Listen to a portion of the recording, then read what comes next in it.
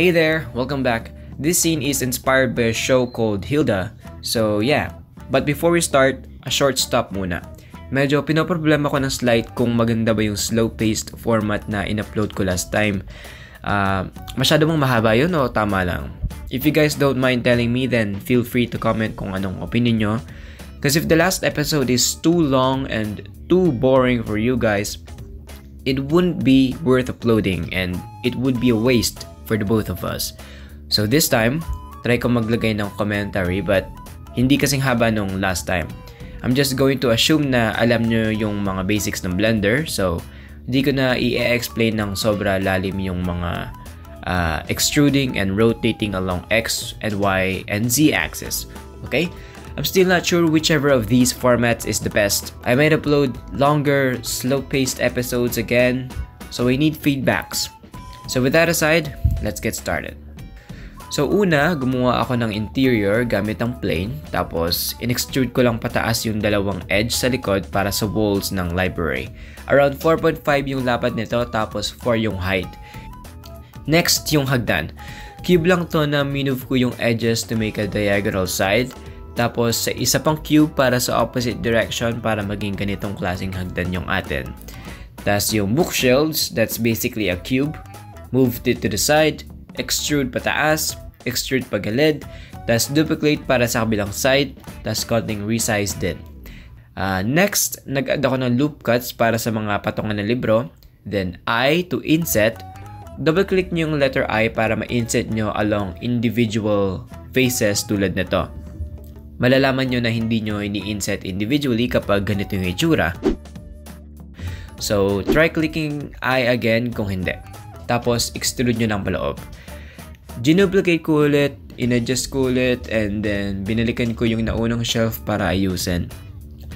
Tapos ginawa ko na rin muna ng konti itong table dito by extruding and grabbing a cube. And that's it. Tapos dito sa agdan, lalagyan ko rin ng bookshelf pero hindi ko pwedeng lagyan ng loop cut kasi ang pangit ng geometry ko. Nagulo kasi habang tinatry kong gawin na madalian. So gumawa ako ng bagong cube, cube ulit, tas ginrab ko lang yung edge sa likod para diagonal. Di ko alam kung ba't bigla akong naglagay ng carpet real quick, but I did.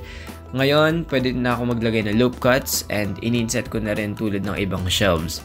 Next, naglagay ako ng pinto dito. Cube lang to na binevel ko yung taas para magmukhang cartoonish yung pintuan. I to inset and E to extrude. Naglagay rin ako ng reader's table, not sure sa term. Extrude and resize lang para sa tabletop. Tapos cube, resize, and bevel para sa mga ilalim. Dinuplicate ko to para sa upuan, resize lang, and then tapos na. I also use the boolean here para medyo may touch. Next is, naglagay rin ako ng maliit na table dito sa hagdan.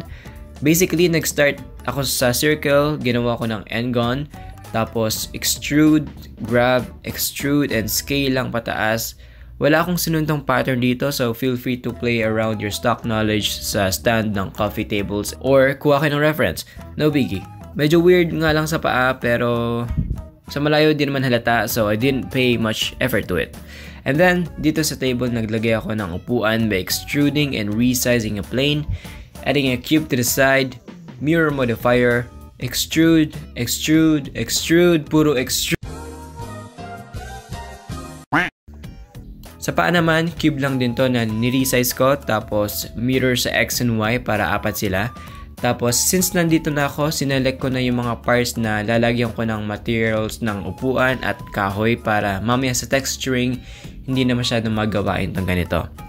Okay, so ngayong napansin nyo na puro extrude, grab, extrude, scale, extrude, bevel mostly ginagawa natin. I'm gonna skip the remaining extrude, grab, scale loop para sa mga ibang objects to save time. But I'll show you what I did para di kayo magtaka kung kailan ko ginawa ang mga bagay-bagay sa mundo. Next, naglagay ako ng bookshelf stairs. Not sure dun sa term. By doing the same extruding and scaling, added scaled cubes para sa tapakan. So dito sa hagdan gumawa akong hawakan pero wait, just in case gamitin nyo yung snap tool and practicein nyo ng practicein and marirealize nyo kung gaano ka sobrang laking tulong non sa positioning and having precision sa ginagawa ninyo. Okay? Tapos naglagay ako ng mga ganito na di ko alam tawag. Tapos mga ganito rin, gumamit naman ako ng array modifier dito. Okay, so dito gagawa ako ng curve table. And to do that, gumamit ako ng spin tool. So first, minove ko sa edge tong plane. While selected yung edge ng plane, gumamit ako ng spin tool and hinold ko lang yung corresponding button sa direction na gusto ko. In this case, the blue button. And then drag. In-adjust ko na konti yung plane para sakto, pero nag-end up sa pag-scale to 0 na lang ako sa edge para maging flat. Tapos, minerge ko lang yung unnecessary faces into one para di masyadong madami yung faces and then proceeded to extruding and grabbing process. Dinuplicate ko lang yung drawer sa unang table para di na ako gagawa ng bago tapos duplicate and repositioning na lang yung ginawa ko dito sa loob. Gumawa rin ako ng library cart using the extrude, scale, and grab process. Tapos para sa gulong ay sphere lang na in-scale ko lang din. Next naman ay ang mga libro. Cube lang to na ni-rescale ko. Tapos, itong mga inset na to ay para hindi lang basta plain yung cover. Iba yung kulay ng cover at iba rin yung kulay ng mga ito. So yeah, I did three variants para astig. And basically, gumamit muna ako ng array modifiers and I filled all the shelves with this book.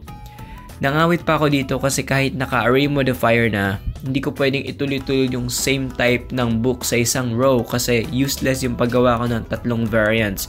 But hey, it's worth it. So ito siya. Nag-rotate at scale ako ng mga libro para ma-feel yung uh, mga gaps in between and at the same time para may variety sa itsura. Inulit ko lang to sa lahat ng shelves and ito yung naging itsura niya.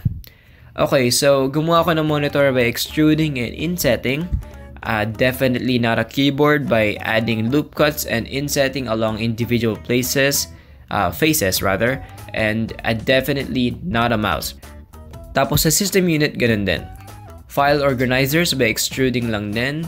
Upuan by extruding lang din. Tapos sa hagdan, nag-add ako ng loop cuts. In-extrude ko sila. Tapos scale and x plus 0 para maging flat to. Tapos gawin lang din sa ibang step. Or, gamit kayo ng plane, extrude nyo ng paganito at pababa. Tapos gamit ng array modifier, Halikutin nyo yung X, Y, and Z values, tapos yung count. Tapos ayan, nag-add rin ako ng poster dito. Trash bin, cylinder lang. Notice na binago ko yung vertice count kasi low poly tayo. Tapos in between bookshelves, nag-add ako ng pillar starting with a plane, extruding up, and doing this. Duplicate and adjust lang para sa ibang area. Naglagay rin ako ng lantern dito, starting with a plane para sa holder, tapos sphere para sa lantern, deleting vertices sa baba para magmukhang low poly lantern, tapos cube and extrude lang para makakonekta. Nagdagdag din ako ng dalawa para astig, tapos kinonekta ko lang din sila sa holder. Uh, duplicate para sa ibang area, Naglagay rin ako ng globe dito sa table by adding a sphere. Tapos yung holder niya ay plain lang na ginamitan ko ng spin tool. Tapos naglagay rin ako ng lamp. Same extruding process. Tapos naglagay ako ng cute na photocopy machine dito. Haha, cute. Plus a table beside it. And a lantern above the table beside the table beside it.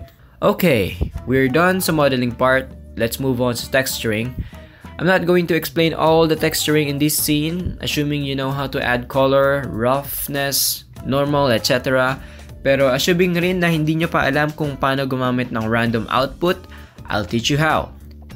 So una, mag-add kayo dito ng object info node and a color ramp node dito sa object info node, grab nyo lang yung output random and connect it sa color input ng color ramp. So whatever it is na color na available sa color ramp, which is at the meantime black and white, ma-i-apply natin tong mga kulay na to randomly sa mga objects na naka-assign sa material na to. And yep, we have hundreds of books here which are assigned to this material so each of them will get a random color na available sa color ramp natin. Gets? Ngayon, all we have to do is to add colors dito sa color ramp by clicking this plus button here and adjusting these sliders along. Also, baguhin nyo to as constant para hindi maging gradient yung nasa color ramp natin. So, kada isang kulay, solid color siya. Okay? And then finally, ikabit lang natin yung color output nito sa color input ng BSDF natin. And voila! Subarashi. Ganun din ginawa ko sa mga faces na ginawa natin kanina. And the rest, I did this. Eto lang, pag sa low poly, pwede mong i-smart unwrap lahat para hindi na time consuming sa UV unwrapping. Just make sure na hindi maapektuhan yung overall look nyo. Okay? At the end, I added some extra fillers like these stacks of books and pieces of papers lying around the scene just to give it a little bit more touch. And that's pretty much it. So, I did extra effort on instructing the steps on this one kasi last time na ganitong format, hindi ako mukhang nagturo. Nagmukha akong nagkwento lang so I hope nakatulong po ito sa inyo. And if this helped, please don't forget to click the like button and if you're not subscribed yet, please hit the subscribe button and share this with anyone you might think need it. And yeah, thanks for watching guys. I'll see you on the next one. Peace.